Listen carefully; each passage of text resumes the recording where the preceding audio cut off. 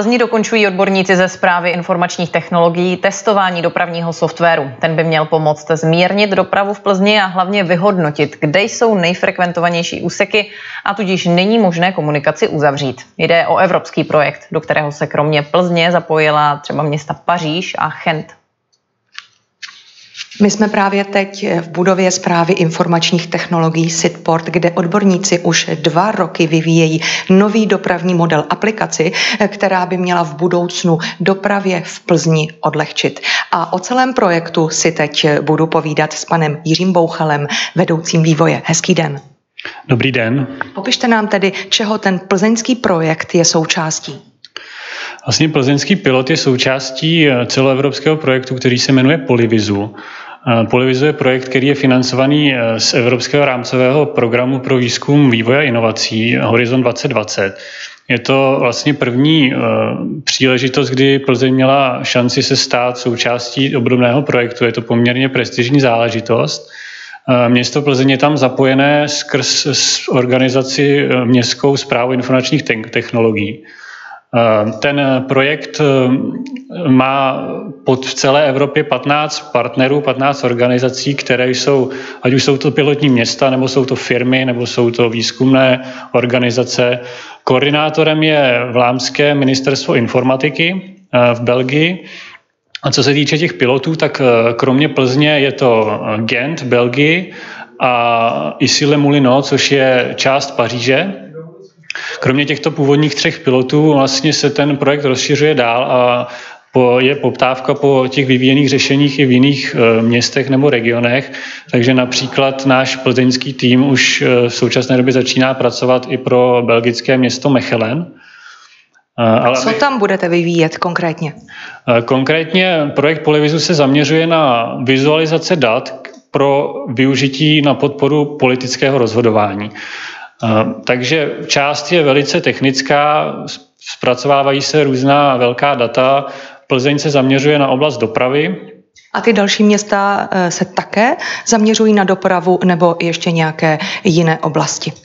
Jsou tam i jiné oblasti. V Belgii se řeší Eh, bezpečnost eh, nebo dopravní nehody, takže vlastně taky doprava. V Gentu se řeší mobilita studentů v rámci města, kdy vlastně Gent nemá úplně přesně zmapováno několik eh, desítek tisíc studentů, kteří tam žijou a jak se pohybují po městě. Takže například se experimentuje s daty od mobilních operátorů a pomocí těch se snaží zjistit, jak se studenti po městě pohybují, kde, kde žijí a kde se baví, kde tráví volný čas a tak dále.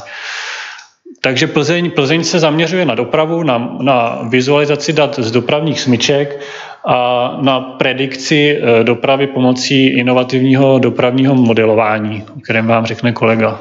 Eh, já se ještě zeptám, co se týká financování. Jsou to evropské peníze. Kolik celkově je na to vyhrazeno peněz a konkrétně kolik jich je právě pro krajské město Plzeň?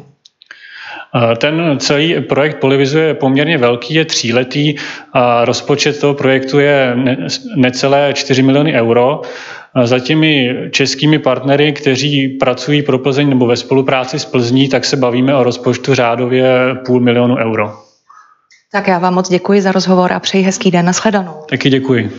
A o tom, kde se sbírají data do tohoto modelu a jak ten model vůbec funguje, eh, tak to nám řekne Karel Jedlička ze Západu České univerzity v Plzni, eh, která také na tomto projektu spolupracuje. Já vám přeji krásný den. Krásný den i vám, dobrý den. Takže povídejte, kde berete ty data, z čeho vůbec vycházíte?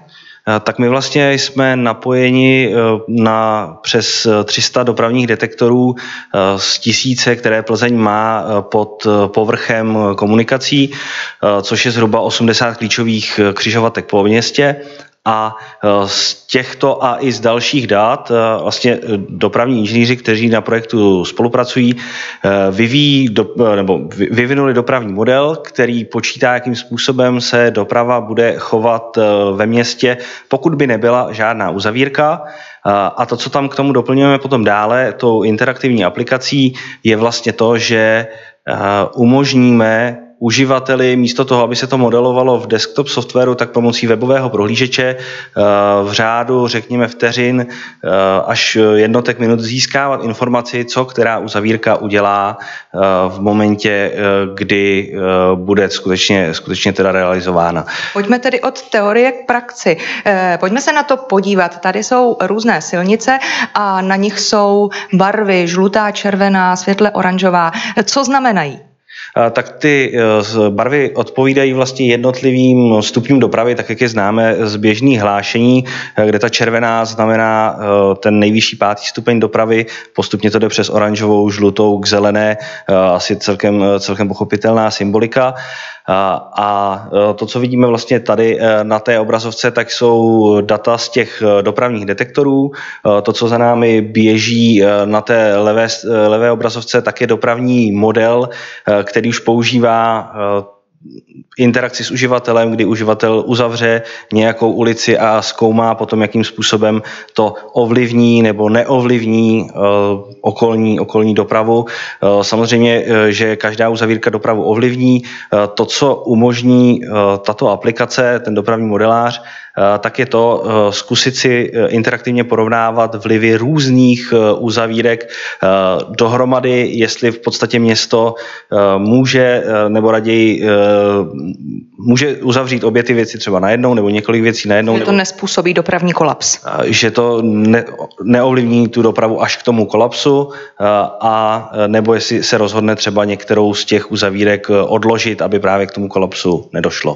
Takže vy vlastně tady budete fungovat jako takový doporučující orgán. Vy řeknete, tohle by bylo dobré, tohle zvládneme ve městě, ale tohle už nejde. Ale pak musí rozhodnout politici? No samozřejmě, my vlastně poskytujeme nástroj, který uh, uživatel někde na městě uh, bude uh, používat k tomu, aby rozhodoval o tom území, co teda je dobré, co, co už prostě bychom třeba my nedoporučili, aby se uzavíralo, ale neovlivňujeme, jak si, jakým způsobem bude probíhat rozhodování na městě. Já vám moc děkuji za informace. Hezký den. Vám taky. Díky. Naschledanou. A jak vlastně aplikaci bude využívat přesně město Plzeň, tak to už nám řekne pan Stanislav Štangl, vedoucí oddělení geografického informačního systému města Plzně. Hezký den. Dobrý den.